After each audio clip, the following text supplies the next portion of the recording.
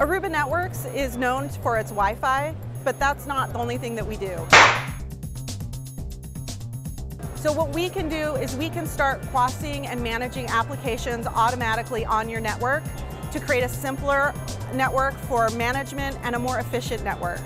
So as we have to change our network structure based on the clients and the clients' use of our networks, we're making that easier for our clients and for our customers.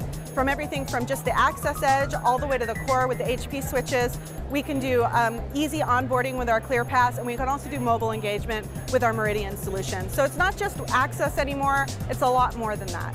So this is my first time at the Nth Symposium. I'm very impressed with the amount of uh, relationships that I see here, but more so with the attendees. Everyone here is very focused. They are interested in the solutions. They are, have a lot of great questions and we're engaging across. And what's great about it as a vendor, there's a lot of integration between the vendors. So as one person is needing something in addition, we would just walk them over there and have them engage with another solutions vendor. And Nth will manage all of that for them. Nth generation is key uh, in integrating multiple solutions. They're really that value added reseller and integrator.